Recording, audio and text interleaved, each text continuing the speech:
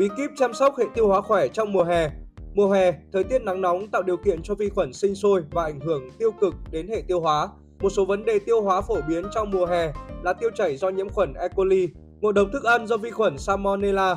Các triệu chứng đi kèm thường là đau bụng, co thắt dạ dày, ở chua, nôn mửa, tiêu chảy, khó tiêu, đầy hơi trướng bụng. Vì vậy, việc điều chỉnh thói quen ăn uống sinh hoạt trong mùa hè là vô cùng quan trọng để chăm sóc và bảo vệ hệ tiêu hóa. 1. Tránh đồ ăn cay nóng, rượu, cà phê. Khi ăn quá nhiều chất đạm, bột đường, dầu mỡ và đồ cay nóng chứa nhiều ớt, hạt tiêu, thức ăn khó được tiêu hóa hết sẽ tồn đọng lâu trong ống tiêu hóa, khiến lợi khuẩn đường ruột bị quá tải, gây triệu chứng đầy hơi, chứng bụng táo bón.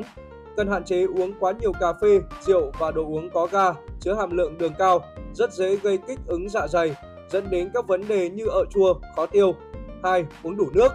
Do đổ mồ hôi trong mùa hè, cơ thể mất rất nhiều nước và cần được bổ sung 2 lít nước mỗi ngày, tương đương với 8 đến 10 cốc nước lọc. Khi cơ thể có đủ lượng nước cần thiết, chất xơ sẽ hút nước vào ruột kết, giúp thải chất mềm ra và dễ dàng di chuyển trong ruột, giúp quá trình bài tiết dễ dàng hơn.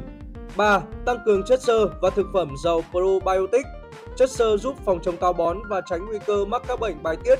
Chế độ ăn giàu chất xơ bao gồm ngũ cốc nguyên cám, các loại rau xanh và trái cây mọng nước như cam, chanh, dưa hấu, nước dừa. Sữa chua là nguồn cung cấp men vi sinh tốt nhất với nhiều protein và vi khuẩn có lợi giúp tiêu hóa dễ dàng hơn. Chỉ sử dụng thức ăn mới chế biến, tránh để lâu bị biến chất, sản sinh nhiều vi khuẩn có hại cho đường ruột, gây ra tiêu chảy và ngộ độc. 4. Tập thể dục thường xuyên. Bất kỳ hoạt động thể chất nào cũng giúp tăng cường lưu thông máu, giảm căng thẳng và đầy hơi trướng bụng, hỗ trợ tiêu hóa. Hoạt động nhẹ nhàng 30 phút mỗi ngày như yoga, đi bộ, chạy bộ, bơi lội rất có lợi cho hệ tiêu hóa, phù hợp với mọi độ tuổi và giới tính.